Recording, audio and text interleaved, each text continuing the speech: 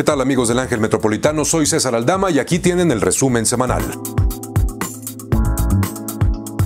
Una vez más, alrededor de 900 policías federales se manifestaron bloqueando accesos a la Terminal 1 del aeropuerto de la Ciudad de México, principalmente porque no quieren formar parte de la Guardia Nacional.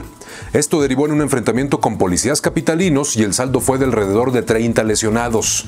Al parecer, no todos los policías entienden la transformación de los cuerpos de seguridad. ¿Y cómo va a ser si el que explica es Alfonso Durazo? Mientras sigue el debate en redes sociales sobre si hizo bien México en dar asilo a Evo Morales, el gobierno de la capital dejó muy clara su postura porque nombró huésped distinguido al expresidente boliviano. ¿Usted qué opina? ¿Qué le parece?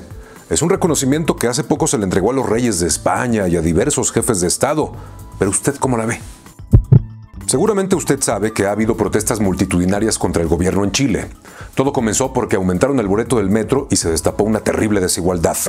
La policía ha estado utilizando, entre otros métodos, una escopeta antimotines y resulta que esas armas, que aunque no son letales, sí han dejado a 230 personas sin visión en uno de los ojos, porque los carabineros están disparando a la cara de los manifestantes. Y hace poquito eran ejemplo. Y cerramos con esto. En Guanajuato se acaba de inaugurar la primera carretera hecha con plástico reciclado. Va de Irapuato a Cuerámaro, tiene 4 kilómetros de largo y se utilizaron 1.7 toneladas de plástico. Es un asfalto modificado que fabrica un grupo de empresas y prometen que es una posible solución al manejo de residuos plásticos, pero también que permite alargar la vida útil hasta en 50% en la carretera donde se aplique. Es buena idea, ¿no?